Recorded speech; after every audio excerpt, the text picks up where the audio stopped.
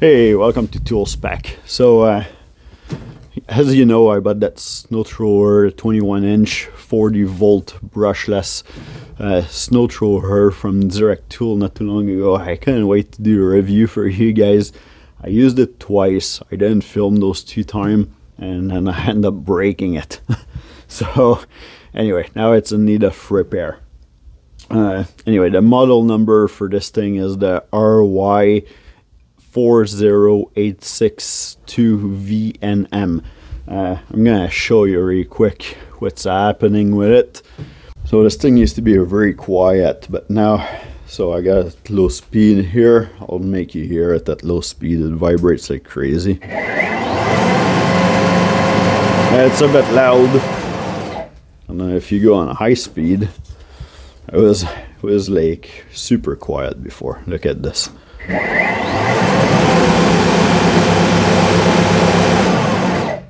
Even my gas one is not that loud. Well, I'm I'm exaggerating a little bit. It is loud, but you know, this is getting ridiculous. And the other thing too, it's I'm gonna break everything apart if I use it like that. So let's see here. I'll show you the shaft turning.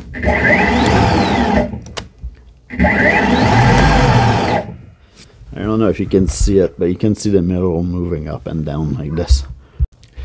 So the shaft here and the bending on me. So if you see my snow shovel video uh, not too long ago, I got the carport here and what's happening it's when it snows a lot all the snow falls on the side here and it packs down on the side so I was trying to I did the shovel the whole driveway well not shovel but I used the snowblower to do the whole driveway and then I went beside the carport at the end and the snow was almost as tall as the light here and about half the snow thrower.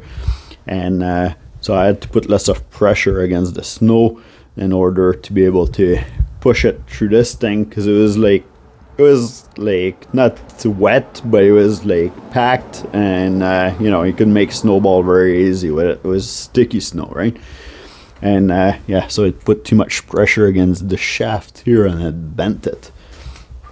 So anyway i got this uh, snow thrower at direct tool uh, warranty and exchange is just 30 days on this thing.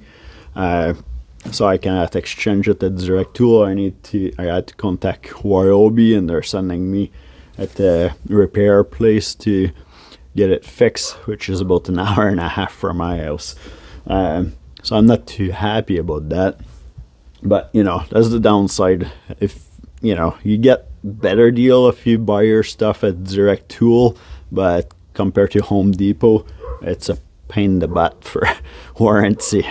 Home Depot will let you return stuff for like a year and there with uh, no question asked, right? So anyway, so I have to go get this thing fixed. I could so hopefully a repair shop can get this up and running in good time. So because we're supposed to have snow in the next week again, and uh, hopefully I can do better review video about this. Uh, yeah, hopefully after this incident it works good.